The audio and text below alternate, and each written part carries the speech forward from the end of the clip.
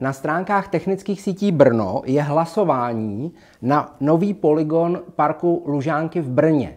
Jsou tam nainstalovaná různá svítidla, protože určitě jste slyšeli, že v noci světlo, některé především bílé, je špatně. Takže oni tam testují různé čtyři druhy světla a nechávají občany hlasovat, které by nejradši chtěli. Jenže Ačko je nejvyšší teplota chromatičnosti, ale dopsali tady, že to má 60% úsporu, takže zatím vede Ačko.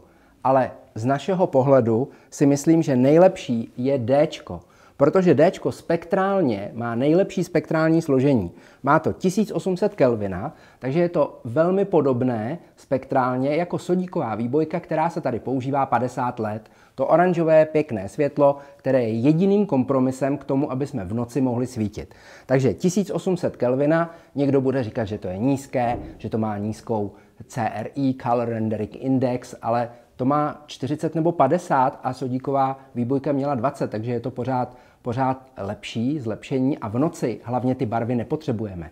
My hlavně v noci potřebujeme eliminovat krátké modré vlnové délky, protože je to nebezpečné používání pro rostliny, pro živočichy i pro člověka. To znamená, já bych hlasoval pro D. Často se ptáte, jestli bych hlasoval pro C, protože má větší šanci na úspěch, anebo pro D, když je správně. Pro D, protože musíme udělat to nejdůležitější pro přírodu. My musíme chránit přírodu, protože hmyz ani stromy nám hlasovat nebudou. To znamená, my hlasujeme za stromy a za hmyz a to znamená, hlasoval bych pro D, protože teplota chromatičnosti a spektrální složení je u D nejlepší a dokonce to svítí na 100% výkonu do 21 hodin, od 20 do 22 na 60% a dokonce od 22 hodin do rána jenom na 40% výkonu. To znamená, že když je tady napsáno, že to ušetří 30%, ono to pravděpodobně ušetří trochu víc, ale protože se mluví o efficiency, o účinnosti,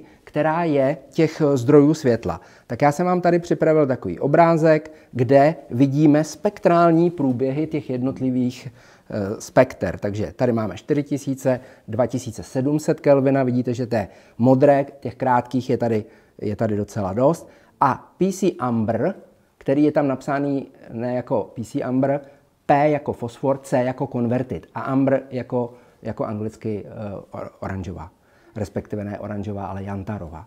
Takže ten Amber je s nejnižším vyzařováním v krátkých vlnových délkách. To chceme, stejně jako to bylo u vysokotlaké sodíkový, sodíkové výbojky a to stmívání je tam perfektní. To znamená, hlasujte pro D, protože má skvělé stmívání a má nejméně energie v modrých vlnových délkách. A když by vám náhodou někdo říkal, že to nemá energetickou účinnost tak dobrou, jako ty, které mají modrou to je ale jenom proto, že se to hodnotí v jedné křivce, v takzvaném fotopickém vidění s maximem 555 nanometrů.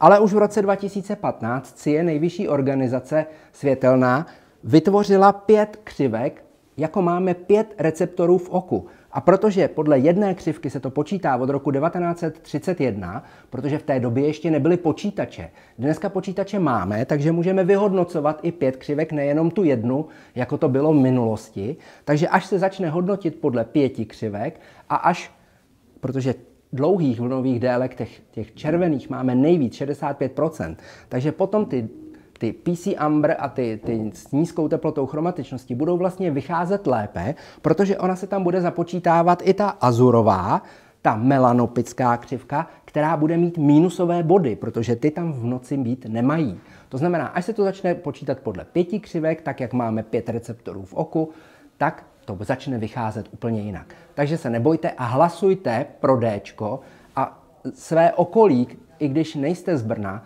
tak prosím, abyste abyste navedli všechny a hlasujte pro D. Já budu taky hlasovat pro D, aby se to vyzkoušelo, protože nebojte, ono to nebude nebezpečné. Ono tam bude vidět, protože světlo, které svítí v noci, se každému zdá jako bílé, protože nejsilnější zdroj světla se prostě v noci zdá jako bílý.